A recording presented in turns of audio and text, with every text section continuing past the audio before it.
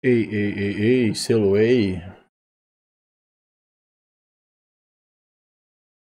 Ei, ei, ei, selo ei, Manolos, beleza? E aqui começa uma nova fase no canal. Você ao vivo ou você assistindo esse vídeo gravado, agora é live, mané. Agora é live, mané. Culpado, tapa na cara. E vai começar aqui com uma análise de Dragon Ball Z Kakarot.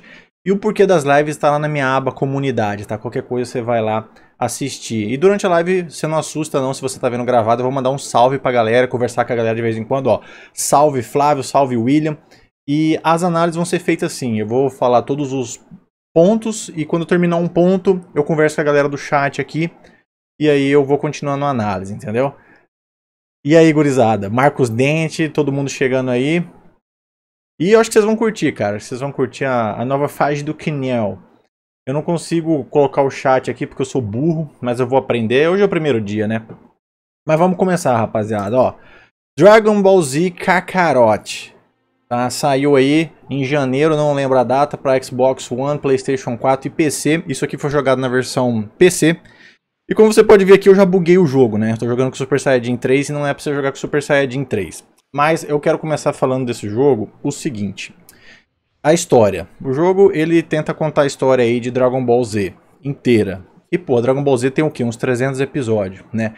E aí eles fazem da maneira deles, tá? Eles tentam contar as partes principais, as partes chave do negócio, e eles conseguem, sinceramente, eles conseguem. Eu que tô fazendo essa análise sou um puta fã de Dragon Ball Z, então eu já sou uma pessoa suspeita, mas eu acho que é impossível você tirar o seu lado Dragon Ball Z de um jogo desse. Esse jogo é feito para fã, e o fã não consegue separar o tanto que ele gosta de Dragon Ball Z desse jogo.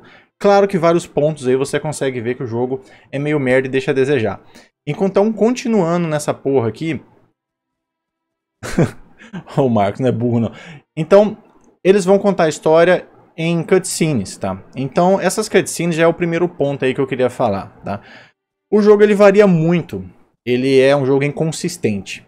Então, ao mesmo tempo que ele tem umas cutscenes extremamente bem feitas, ele tem umas cutscenes extremamente merda. Tá, então vou usar o primeiro mostrar pra vocês a cutscene que mais rola no jogo. A cutscene que mais rola no jogo. Caralho, eu sou muito foda, você viu? Parece que o vídeo é editado, mano. Eu tô fazendo ao vivo. É isso aqui, ó.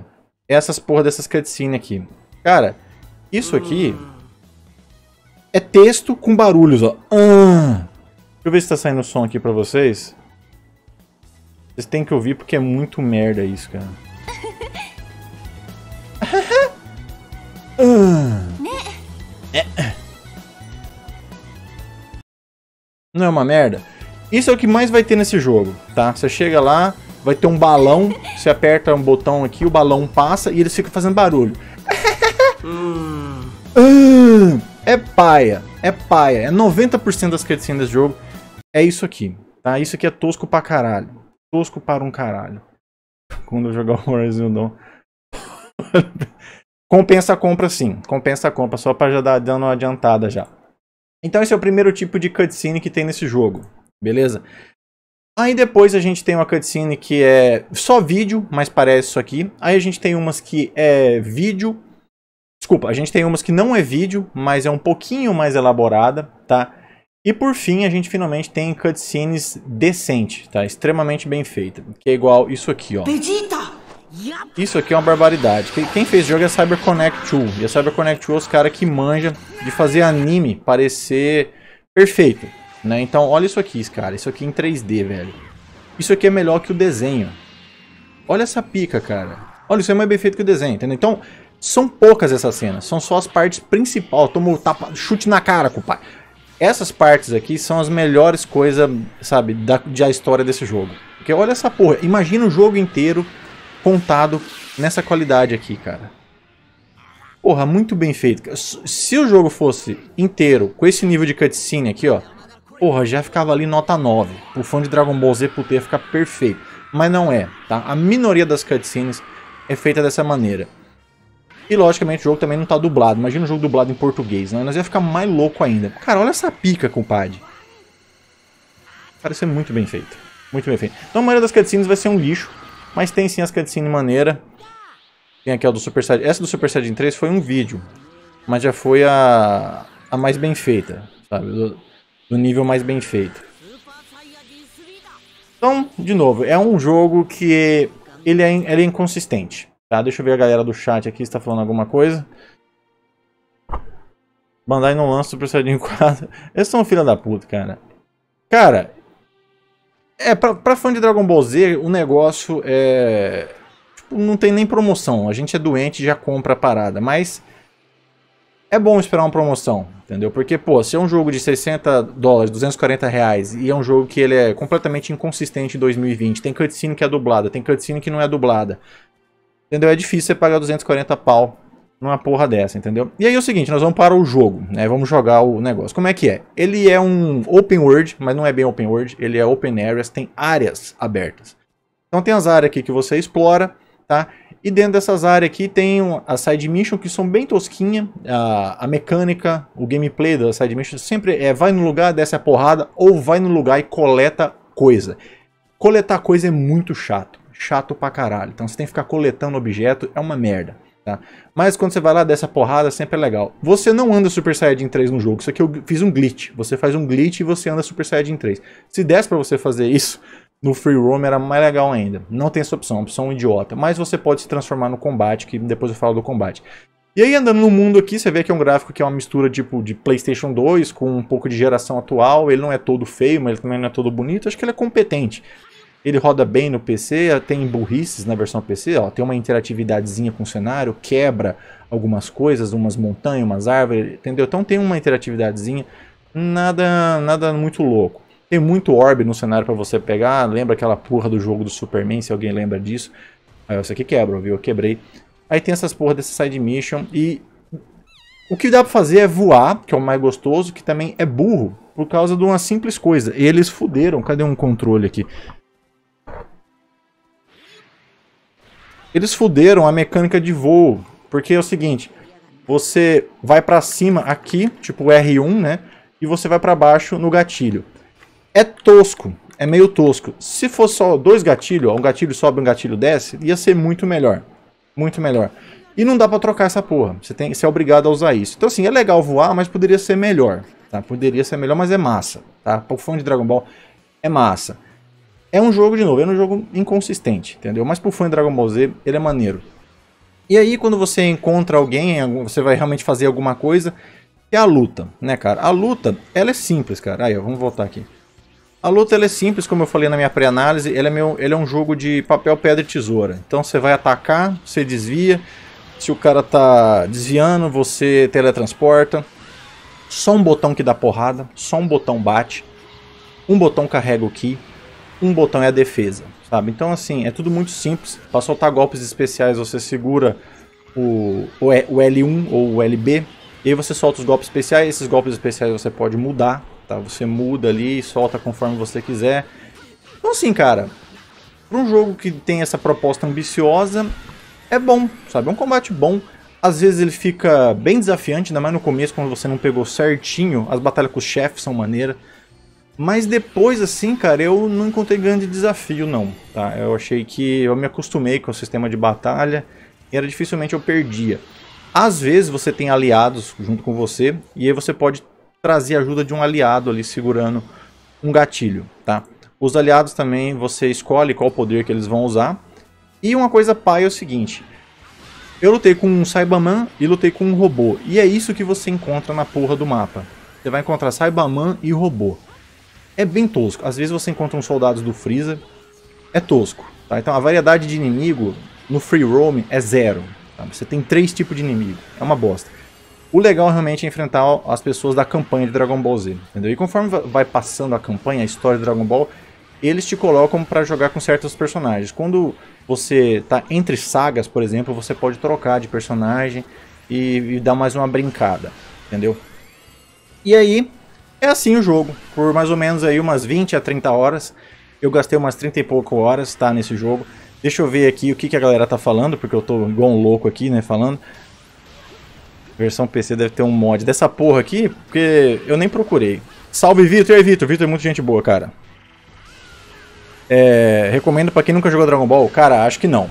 Pra quem nunca jogou Dragon Ball, Vitor, é melhor pegar um jogo de luta lá, igual o Fighters. Eu, eu não acho assim que é tão... Só numa promoção, talvez você ache maneiro.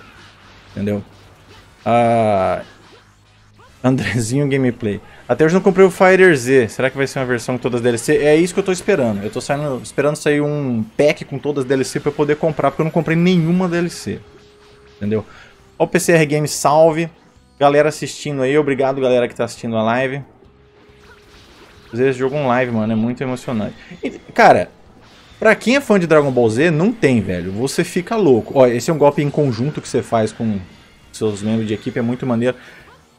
Então vamos encerrando já, sabe, a análise. Eu não sei se estou esquecendo alguma coisa. Se eu tiver, comenta aí, por favor, que esse é o momento.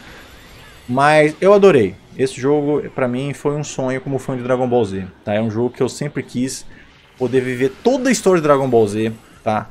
Pegar missões secundárias que acrescentavam no lore de Dragon Ball Z. Um combate que eu achei divertido. Tem transformações no combate, que é muito legal.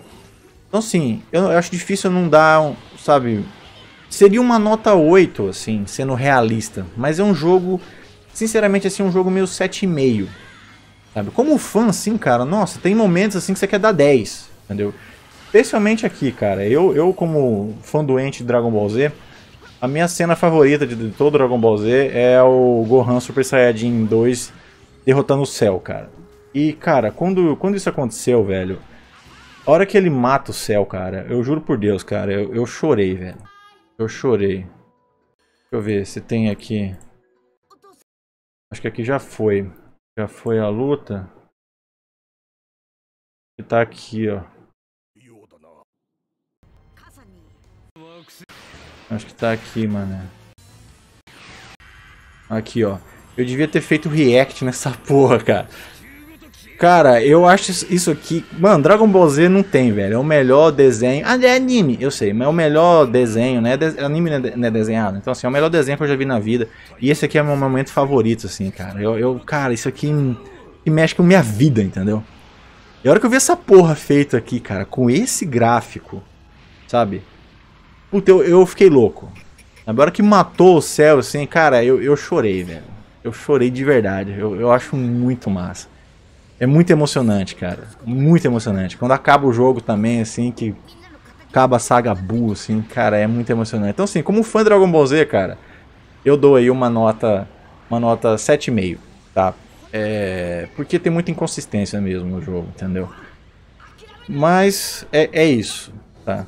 Aí, olha a hora que o Goku vem, mané. Puta, o Goku vem, solta o Kamehameha junto, cara. Eu ver se tem mais alguém falando alguma coisa aqui. Dragon Ball Z é o melhor Dragon Ball. Dragon Ball é vida, cara. Se eu pudesse fazer um jogo Dragon Ball definitivo, como ele seria? Cara, ele seria o... Um jogo da Rockstar do Dragon Ball Z, entendeu? Seria isso. Basicamente isso. Ia contar toda a história do Dragon Ball Z, entendeu? Ia ter um combate ainda melhor. Olha, cara, putz, isso aqui porra, é pra chorar, velho. E... E que contasse a história perfeitamente, sabe? As cutscenes fossem todas trabalhadas assim, ó Todas as cutscenes fossem assim, cara. Você ter um material de referência, velho. O anime é só você fazer, entendeu? Porra, não tem, pra mim não tem desculpa.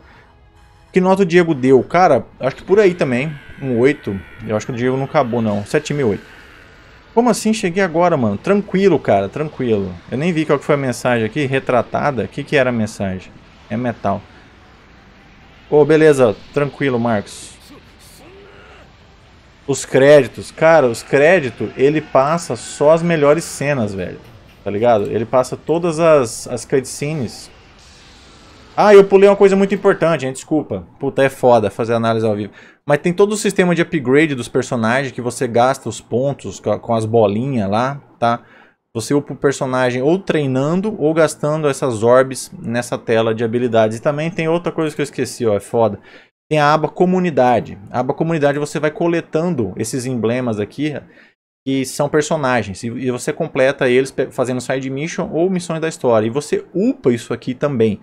Então isso aqui dá mais atributo, entendeu? E cada um se encaixa aqui numa comunidade. Então tem a comunidade dos guerreiros Z, que dá certos benefícios, entendeu? E assim por diante. E certos personagens juntos dá mais benefício. Então você junta os Saiyajins dá mais benefício, você junta os Namekuseijin dá mais benefício. Esqueci de falar essa parte, entendeu? Foi mal. É porque, pô, é uma pica, né? Pô, fazer análise ao vivo, mano. Quem já fez análise ao vivo no YouTube? Fala pra mim.